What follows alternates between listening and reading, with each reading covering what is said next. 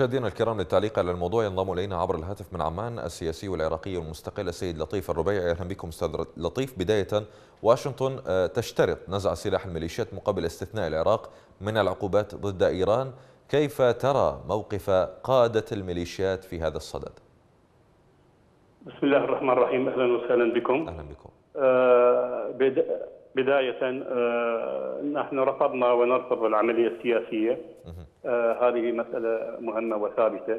آه مسألة العقوبات الأمريكية على إيران صراحة ممكن تسميتها بلعبة القط والفار بين القيادة بين إدارة ترامب والقيادة الإيرانية.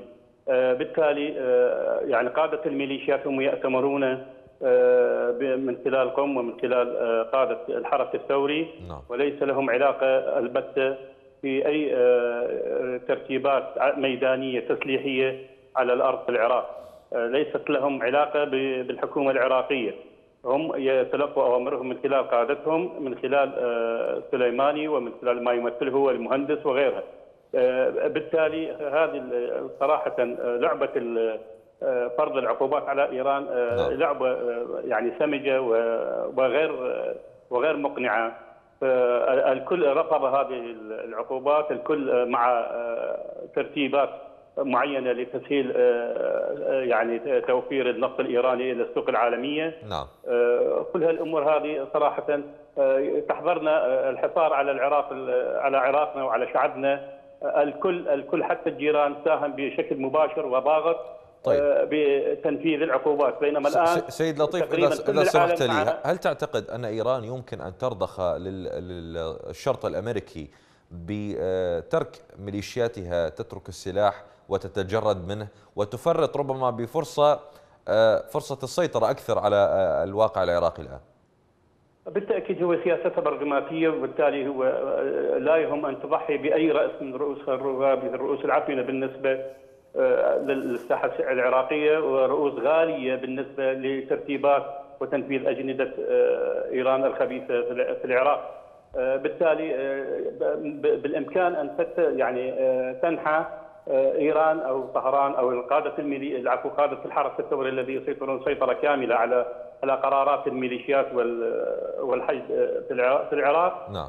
بأي اتجاه سواء بتضحية رؤوس معينة سواء بترتيبات بتكتيكات سياسية بتمرير بعض القرارات التي لا تؤذي يعني برامجها في العراق نهائيا بالتالي هذه صراحة يعني هلاميه هذه يعني هذه العقوبات سيد سيد لطيف حتى ب نعم حتى بتقدير المراقبين الدوليين صراحة إذا سمحت يعني لي. ما الفرق ما الفرق بين هذه العقوبات التي تفرضها الولايات المتحدة الآن وما بين والعقوبات التي فرضت في فترة أوباما كذلك إيران تنعمت بخيرات العراق بشكل أو بآخر إن كانت بطرق مباشرة أو غير مباشرة عن طريق تهريب أموال أو غيرها من المساعدات التي قدمتها حكومة المالكي آنذاك، ما الاختلاف الآن؟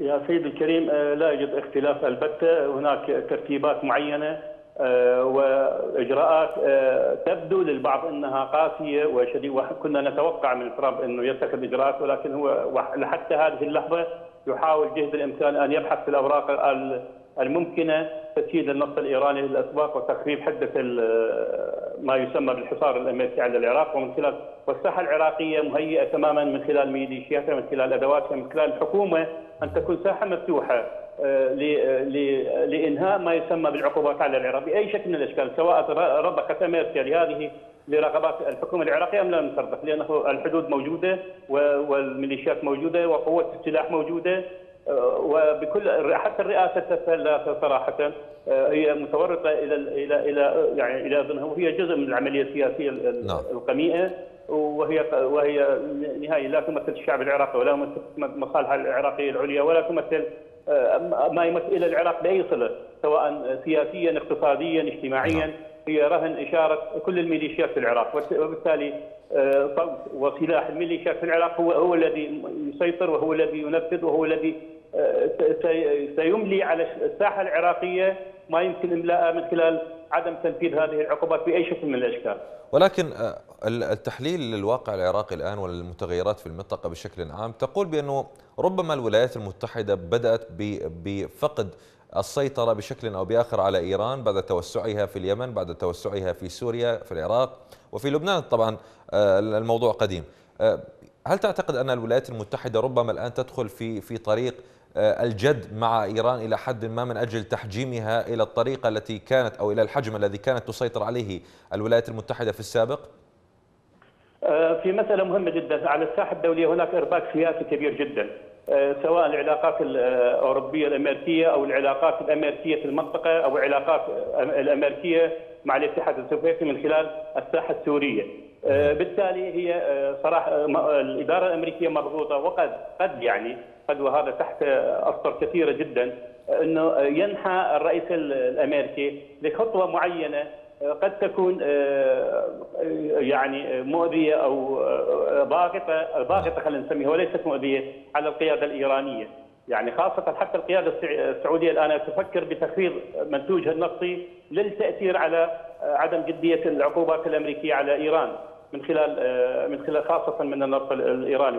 وبالتالي الدول الكبرى الكبيرة جدا والتي تستحوذ على حصة النفط الإيرانية في السوق الدولية هي الآن مرتاحة والنفط الإيراني يعني مستمر ويتدفق بالتالي ليست هناك يعني والآن هو شو اسمه ترامب والإدارة نعم. الأمريكية هي صراحة في إرباك سياسي وفي دائرة محصورة من خلال فتح جبهات كبيرة جدا من خلال ترامب والحكومات نعم. الأوروبية والحكومات الشرق الأوسطية وساحات الصراع والتي تتسيد فيها صراحة إيران الآن لا زالت ولا زالت تتسيد فيها على ساحات كبيرة جدا ومن نعم. يقول غير ذلك فهو على خطأ وعليه أن يقول الأمور يعني بحقائقها وبأسمائها الحقيقية بالتالي على أمريكا إذا أرادت فعلا إذا أرادت فعلا ان أن تكون تحد من من من الذراع أو من الأذرع الإيرانية نعم. في الساحات العربية عليها آه، أن تنحو منحى حقيقي آه، منحى آه، حتى تسليحي أو عسكري أو ضربة عسكرية محددة أو لكن لحد الآن هذه المسألة غير واضحه لدى أجندة الإدارة الأمريكية من خلال التوجهات من خلال المفاوضات من خلال يعني يعني المحادثات ما بين الرئيس السوفيتي ما بين الرئيس السوري وما بين الرئيس يعني كل هال طيب الرؤساء سيد لطيف سيد لطيف اذا اذا إذا عدنا يعني آه، جدية الأجندة الإيرانية في المنطقة نهائيا. اذا إذا عدنا إلى إذا عدنا إلى الحكومة في بغداد. حكومة آه، حيدر العبادي قيل عنها وإن كانت من حزب الدعوة وإن كان حزب الدعوة تاريخه مع إيران طوال الخط ولكن قيل أن آه، حيدر العبادي كان يميل للولايات المتحدة أو يتأثر بضغوطاتها.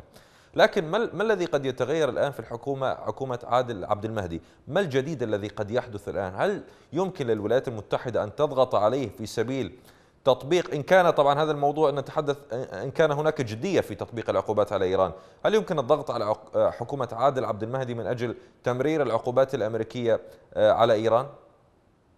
في الميزان السياسي حكومة عادل المهدي آه، من أضعف الحكومات آه، بغض النظر عن آه، يعني رفضنا لهذه الحكومات الناسخه ضعيفة جدا هذه الشخصية تحاول أن تكون تمسك العصا من الوسط وهذا لن يتيح لها ذلك من خلال القادة الإيرانيين والنفوذ الإيراني في في داخل العراق. ويحاول جاهدا ان أن يضع رجل في مع الولايات المتحدة ومع وهذا لن يحدث لأنه الأجندة الامريكي عفوا الأجندة الإيرانية ضاغطه ضاغطة بشكل حقيقي من خلال تمسكها بالميليشيات وسلاح الميليشيات ولم ولن تنسى هذه المسألة قد تطيح برؤوس معينة ولكن لن ينزع سلاح الميليشيات على الإطلاق. وبالتالي موقف عادل المهدي ضعيف جدا ووزاراته نعم. ووزارته ضعيف جدا وبالتالي هذا ما يقوم به الرئيس الموجود الحالي يقوم في زيارات آه، خارجية في حين الحكومة لم تشكل بعد وهذه طامه كبرى وهذا عيب آه، في في هيبة الدولة العراقية نعم. على الأقل الرئيس العراقي لما ينتخب لما يكون رئيس جديد هناك برقيات تهنئة هناك برقيات تأييد تآزر من كل الدول الخاصه على الأقل من من الدول الجوار وهذا نعم. لن يحدث وتلك من المعيب جدا من المعيب جدا على الرئاسة العراقية أن تقوم بهذا المنحى وأن تقوم بزيارات. وحتى نعم. هذه اللحظة لن تكمل يعني يعني التشكيلة الوزارية. وهذا كل هذا هذا ضعف وضعف أوراق في نعم. يعني ضعف الأوراق السياسية لدى بغداد.